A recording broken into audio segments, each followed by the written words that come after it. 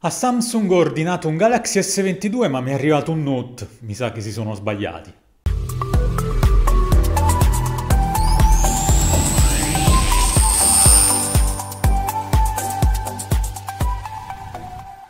Benvenuti amici panterenews.com in questo nuovo video in cui andremo a dare una prima occhiata più da vicino al Galaxy S22 Ultra con S Pen integrata è un Note o un dispositivo della serie S?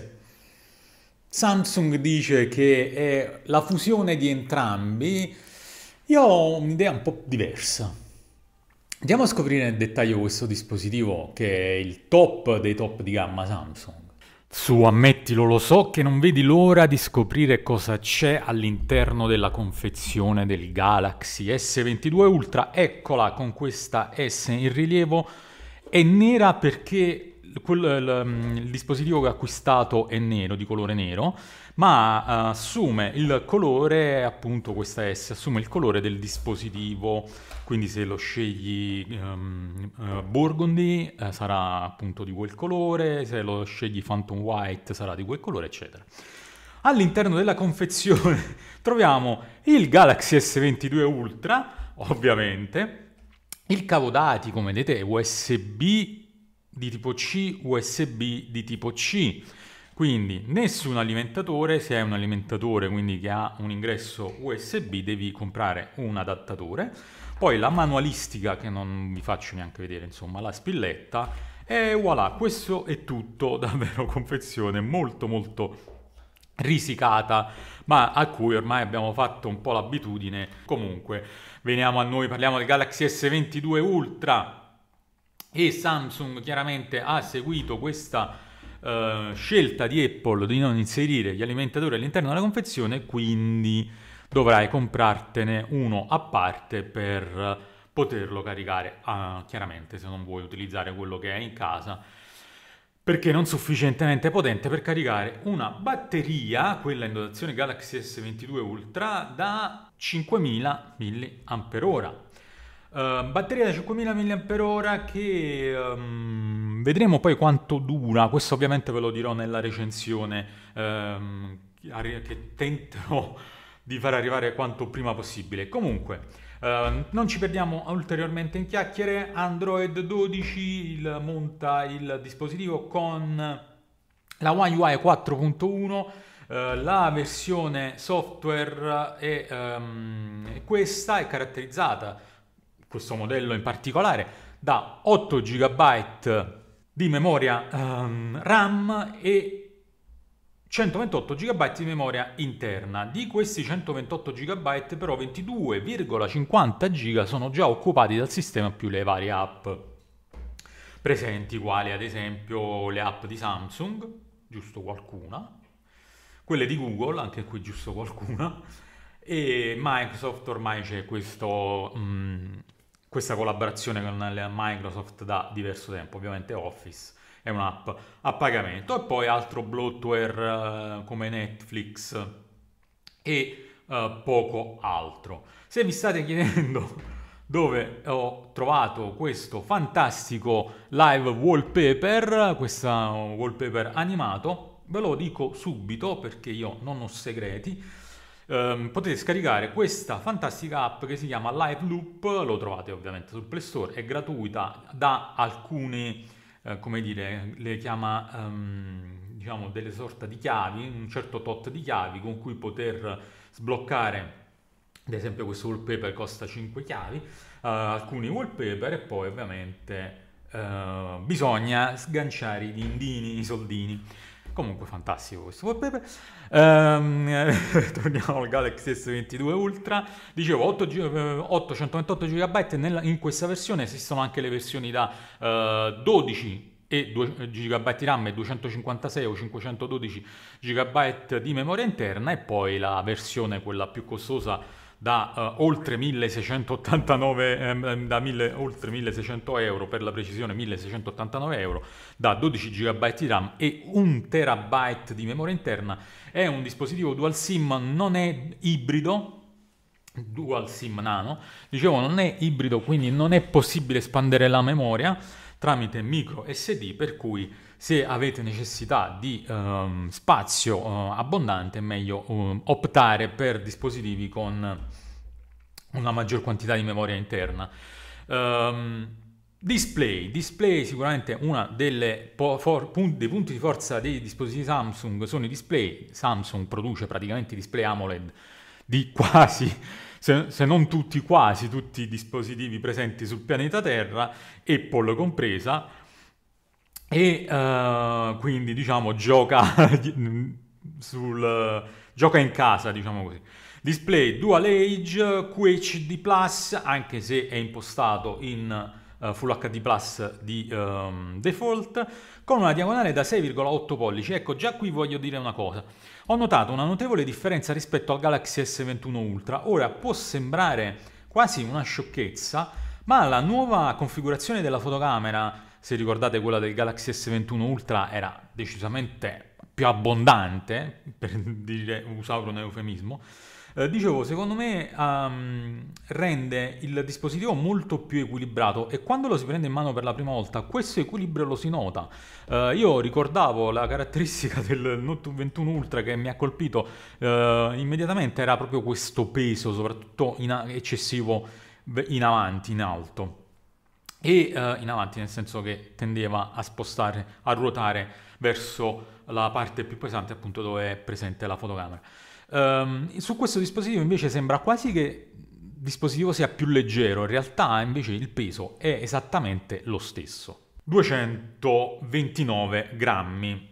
Le dimensioni sono un po' variate rispetto al Galaxy S21 Ultra, ma veramente parliamo di uh, pochi millimetri. Uh, abbiamo bordi arrotondati, come detto, ma abbiamo anche dei bordi, uh, quelli più, sui lati più lunghi. Poi sui lati più corti abbiamo questi bordi abbastanza doppi, spessi, che ricordano in tutto e per tutto eh, la serie Note di cui tra poco vi parlerò perché oh, secondo me de- ci sono dei punti da chiarire. Comunque, eh, fotocamere, stiamo parlando di fotocamere, continuiamo a parlarne. Eh, fotocamera anteriore da 40 megapixel, esattamente lo stesso eh, sensore presente sul Galaxy S21 Ultra, almeno per quanto riguarda i megapixel. Eh, nella parte posteriore troviamo invece una ehm, fotocamera doppia, uh, due, teleobiettivi da 10 megapixel, uh, una da 12 megapixel e una super fotocamera, un grandangolare da 108 megapixel. Ho fatto già qualche, realizzato già qualche scatto, devo ancora fare, realizzare video. le immagini, vi dico già, sono... sono... sono un bel, bel, belle immagini, poi chiaramente nella recensione vi parlerò di sicuramente in dettaglio del comparto fotografico, ma secondo me veramente top. Eh, processore Exynos 2002, si parlava tanto del processore che sarebbe arrivato anche in Europa, in Italia compresa, con lo Snapdragon 8 di prima generazione. No, processore è l'Exynos 2200, quindi non c'è nulla da fare. Abbiamo detto batteria da 5000 mAh supporta la ricarica rapida fino a, 5, uh, a 45 watt, ricarica rapida cablata, cioè tramite filo, e um, consente di effettuare anche la ricarica wireless con potenza fino a 15 uh, watt dotato poi naturalmente di tutte le caratteristiche ehm, di connettività possibili e immaginabili come il Wi-Fi 6E, ehm, 5G, eh, Bluetooth 5.2, insomma accelerometro, barometro, giroscopio, sensore di impronte digitali, sensore di prossimità, chi più ne ha più ne metta. Sensore di impronte digitali che funziona direi alquanto bene, come vedete non c'è neanche bisogno di andare a cliccare per far comparire il, uh, l'icona del sensore basta posizionare il dito ovviamente nella, uh, all'incirca nella posizione giusta del, del sensore di impronte digitali e il dispositivo si sblocca e si attiva in automatico uh, praticamente all'istante. Beh, è un Galaxy S22 Ultra, diciamo che ci aspettiamo che un, non regala grosse sorprese, nel senso che ci aspettiamo di avere a che fare con un top tra i top ed è così effettivamente. Ovviamente ho lasciato per ultima la cosa più succulenta, almeno per quanto riguarda i fan della serie Note, è la S Pen che ultimi, nelle ultime versioni, quelle non del Galaxy S21 Ultra ma uh, del Note, si estraeva con un click.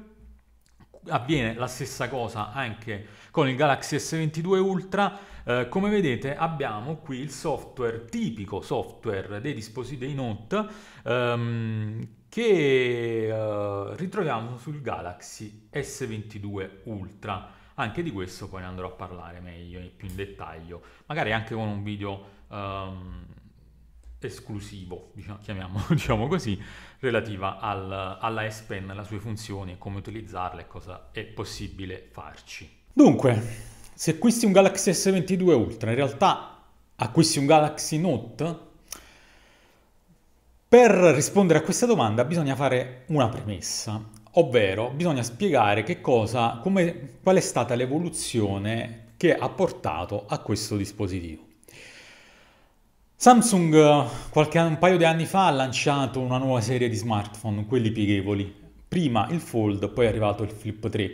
A proposito, ha eliminato la Z perché fino a poco tempo fa si chiamavano Z Flip 3 e Z Fold, Fold 3. In realtà la Z è stata eliminata per le questioni di politica internazionale che purtroppo tutti ben conosciamo. Comunque, dicevo, um, ha lanciato qualche anno fa i dispositivi pieghevoli che stanno prendendo sempre più piede e ora forse inizialmente l'azienda sudcoreana aveva pensato di sostituire appunto i Note con questi dispositivi. Infatti il lancio dei Galaxy Fold e dei Flip avviene nel periodo in cui in genere venivano lanciati i Note um, diciamo più o meno all'incirca, più o meno tra agosto e settembre. Quindi si trovava con um, questa nuova linea di dispositivi che andava poi a, a cozzare, diciamo così, con la serie Note, cioè non poteva chiaramente presentare nello stesso momento due, di, due top di gamma, perché stiamo parlando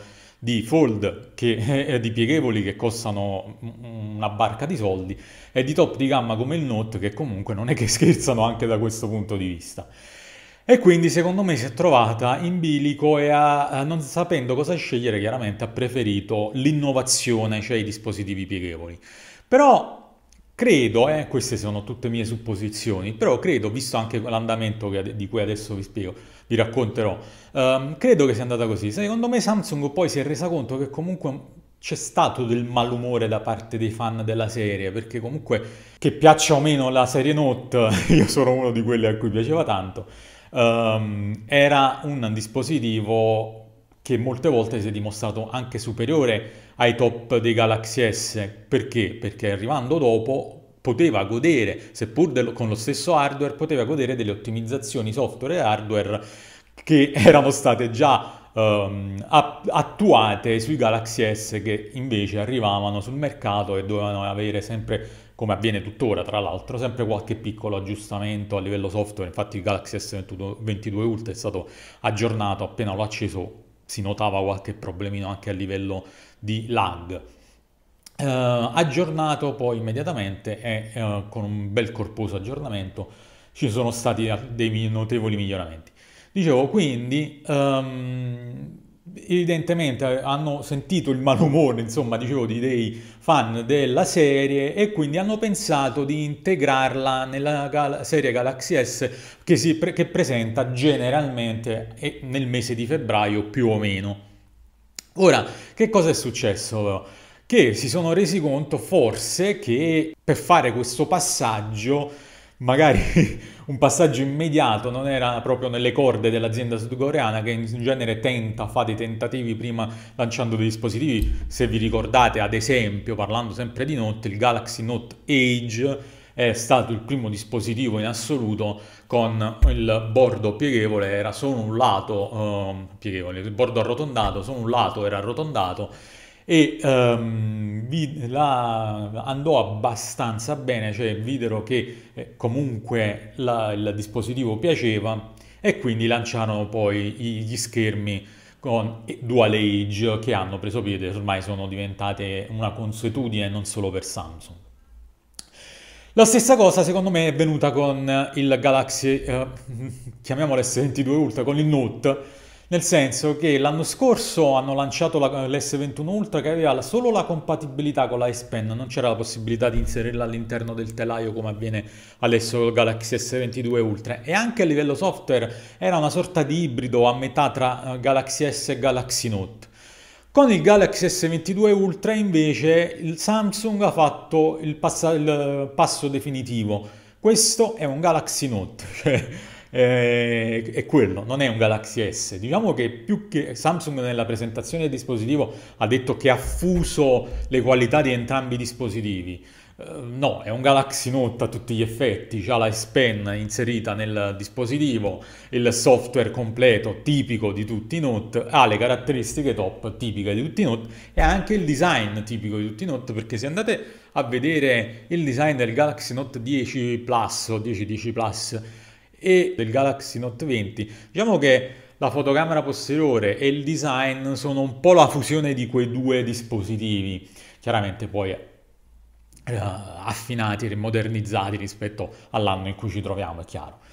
Ehm, a me, per me questo è un Galaxy Note, poi vabbè, chiamiamolo Galaxy S22 Ultra, è la stessa cosa, il fatto sta che è davvero un dispositivo niente male ma di questo ne parlerò nella recensione. Mi raccomando, non ti perdere gli altri video che stanno per arrivare, a giorni naturalmente, sul Galaxy S22 Ultra. Andiamo a vedere quanto tempo impiega a ricaricare la batteria dallo 0 al 100%.